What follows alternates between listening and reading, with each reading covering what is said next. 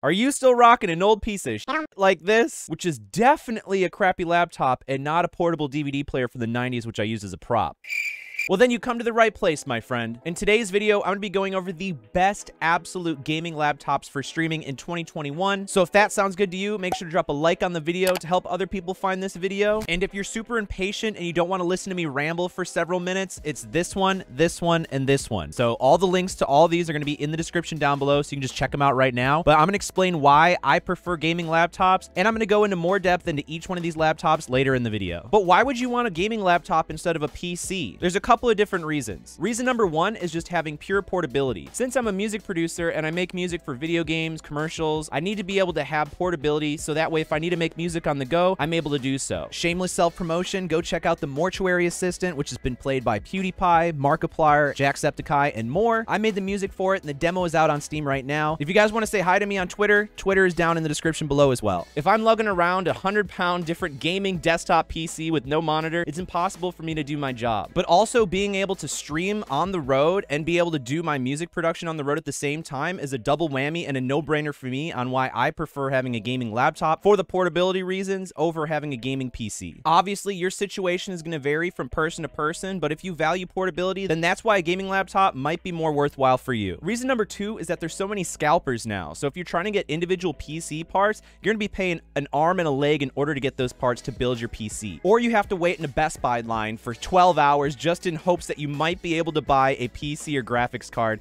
at retail price before the scalpers get to it. So if you value portability and you don't want to deal with a bunch of scalpers, then let's move on to the best gaming laptops in 2021. By the way, all the Amazon links are going to be located in the description down below if you want to follow along at home and add them to your wish list. One of the best gaming laptops in 2021 is going to be the Razer Blade 15 Advanced Gaming Laptop in the 2021 edition. This thing is an absolute beast. This is easily one of the most powerful gaming laptops available to the public and it's no surprise why. So a big reason why a lot of people like the Razer Blade 15 is that they actually have a bunch of different variations of the laptop to fit everyone's needs. So you can get a version that has an RTX 360, an RTX 370, an RTX 380, and so many different variations from there. But just in general, it has a 10th generation Intel Core i7 CPU. The GPU can go all the way up to the NVIDIA RTX 3080 Max-Q. You can get up to 32 gigabytes of RAM. They have a couple different screen sizes varying from 1080p at 360 hertz, 1440p at 165 hertz,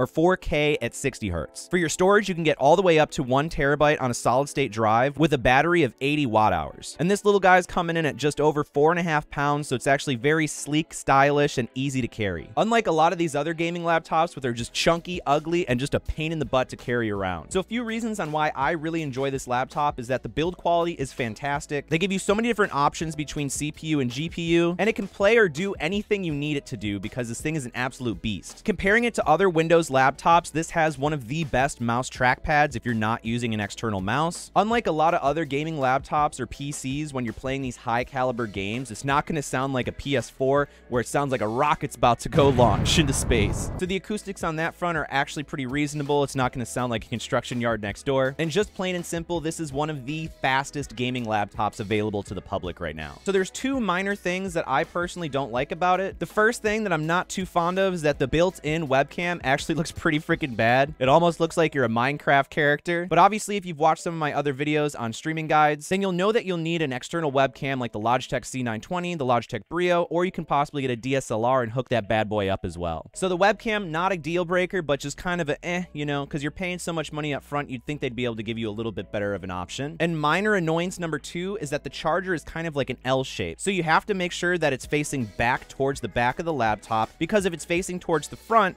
then it's going to block block off one of the USB ports, and that's just annoying. It's a minor thing, but it's just annoying. You'd hope that the charger would just kind of come in from the side and not have those awkward little like standouts because then it blocks ports and nobody wants that. But when you think about the webcam and the charging being kind of minor annoyances, everything else about this laptop I'm completely ecstatic for. So if you're able to pony up the money in order to buy one of these, this is going to be the best gaming laptop for streaming in 2021. So if you're watching this around Christmas time, make sure you're nice and not naughty and make sure to put it on your Christmas list. But But a close runner-up to this laptop is actually going to be the Asus Zephyrus G15. This laptop is pretty close to the spec quality of the Razer Blade 15, depending on which model you ended up going with. And it's also a great alternative to this laptop if you can't get your hands on either one of them, because this laptop is also a beast. So this laptop has a nice and long battery life. The processor is an AMD Ryzen 9 5900HS with 8 cores. The RAM is going to be 16 gigabytes DDR4 with 3200 megahertz, and the hard drive being a 1 terabyte NVMe solid state drive. The operating system that this laptop works with is Microsoft Windows 10, which happens to be my personal favorite. And for the display, it has a 15.6 inch screen. The maximum display resolution is 2560 by 1440 pixels. With this little guy coming in at just under 4.2 pounds, it's smaller than the other laptop we mentioned earlier. And I'm truly a big fan of the design of this laptop. I think it looks slick, I think it looks nice, and I wouldn't be embarrassed to be caught using this in public. So for those reasons, the Asus Zephyrus G15 is a great alternative to the Razer Blade 15 if for whatever reason you can't get your hands on the Razer Blade 15, or if you just prefer the sleek design of this laptop instead. But I'm going to go over one more laptop in case neither of these two fit the bill for you. The last laptop that I want to talk to you about today is the Alienware M17R4. This laptop also has a few variations. There's one that comes with an RTX 3060, 3070, and 3080. For the 3060 model, it has a standing screen display size of 17.3 inches. It has a 1920 by 1080p screen resolution. Processor is 2.2 gigahertz Core i7.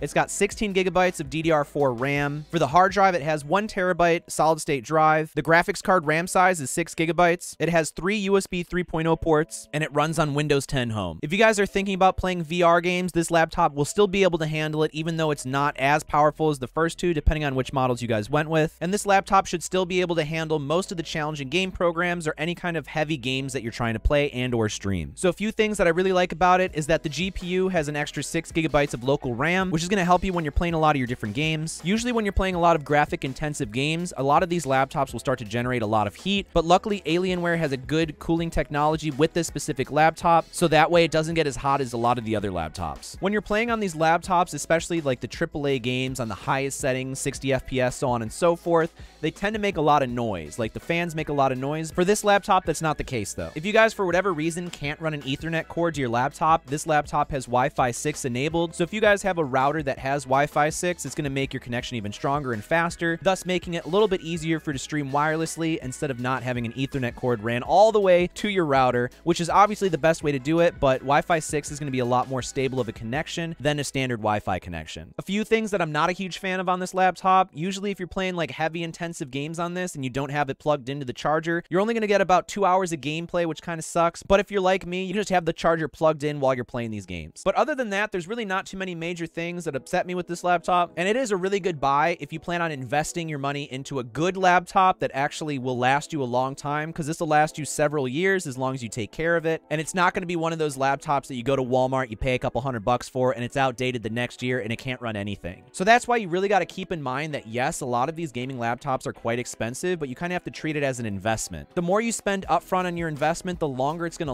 last throughout the years, thus cutting down you having to rebuy a new laptop and keep replacing that laptop with newer and newer models, which is also better for the environment too, so high five. But overall, if you guys are trying to stream AAA games and play them at the same time, basically any of these laptops, as long as you're going up with the higher end of the models, will be fine for any of the kind of things that you're trying to do. But as always, make sure to do your own research before making one of these purchases, even something as simple as going through the Amazon reviews just to see what other people think and what they're trying to accomplish as well is going to help guide you to make a better educated guess and decision for your purchases. So I'll leave links in the description down below where you can check out these laptops in further detail. But I just want to thank all my patrons for helping support me in the YouTube channel. Feel free to check out these videos on the side. I think they're going to help you out. Happy holidays, and I'll catch you next time.